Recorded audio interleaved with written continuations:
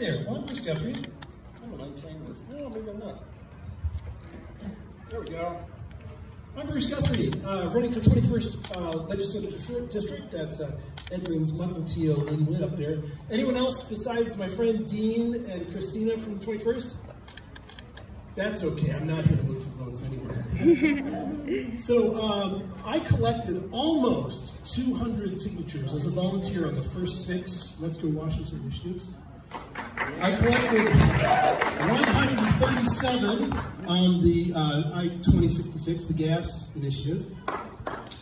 And then, while I was at the Edmonds Arts Festival collecting signatures, I was arrested in a public park by the police for collecting signatures. Now, what happened was some left-winger lied and said I was harassing people. Well, anybody who've ever collected a signature know you catch more flies with honey than with vinegar. You don't harass people to get signatures. It doesn't work. I was asking as sweetly as I possibly could for these signatures.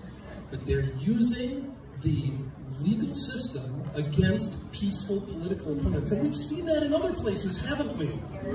Haven't we seen that in other places? So I was arrested. The, the, police came and they said, you have to go over there to that sidewalk or you're going to be arrested. And I said, over the sidewalk, there's not any traffic.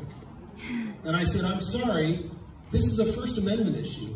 If you officers arrest me, you're going to be committing a civil rights violation against me. And by the way, you officers should know that the Nuremberg defense is an invalid defense. You know the Nuremberg defense? I was just following orders, mein Herr. It's an invalid defense. So each of you officers are going to be individually, personally liable for arresting me.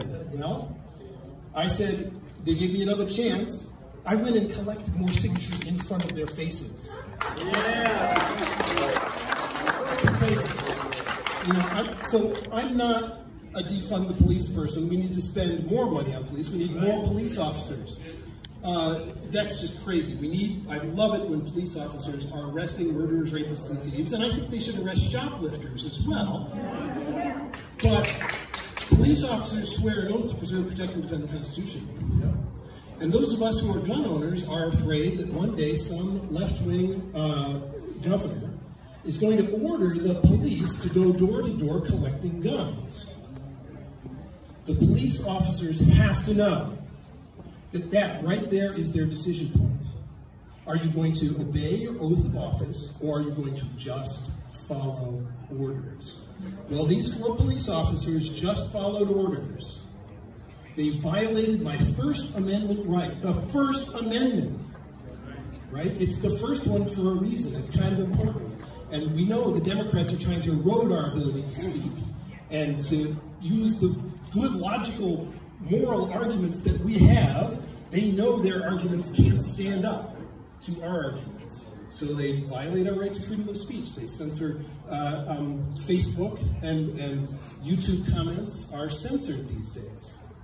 So we need to stand up, and when the police come, we need to say, no, these are our rights. And back the blue, right, when they're arresting murderers, rapists, and thieves, right, but the police officers, they swear an oath to preserve the Constitution, state constitution and the federal constitution.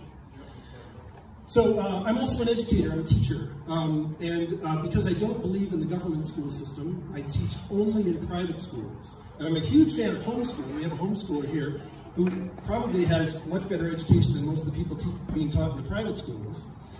What do we need in this state? We need choice, because it's competition that makes service providers better. The government school, I call them government school, not public school, the government school is trying to insulate itself from competition, right? That's the fundamental flaw. That's why I think government schooling is a failed social experiment. And we're not going to see this in my lifetime, but what I would like to see long term is a complete privatization of schooling. I want a separation of school and state. Hmm. I want each individual school building to be set up as a separate private nonprofit organization with a local parental board. I want them to specialize however they want to. Some will specialize in arts, some will specialize in STEM schools, some will just be big general schools, some will focus on people with special needs.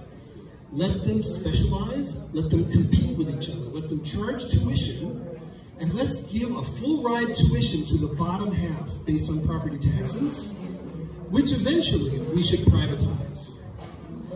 That's not going to happen in my lifetime, but that's my dream. But what gets us one incremental step in the direction, right direction?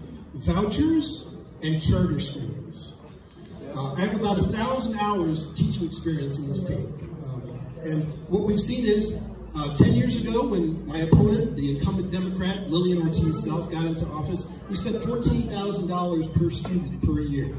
Now we spend $18,000 per student per year, and test scores are going down, and average private school tuition in this state is $13,000. The private schools do a better job with less money, and homeschooling beats them all. So, education, uh, transportation. The government is giving us trains. It's 18th century technology. What people want is another lane on 405 and another lane on I-5. We also need term limits.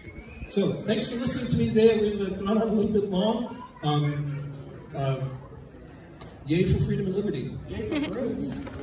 Yay for Bruce.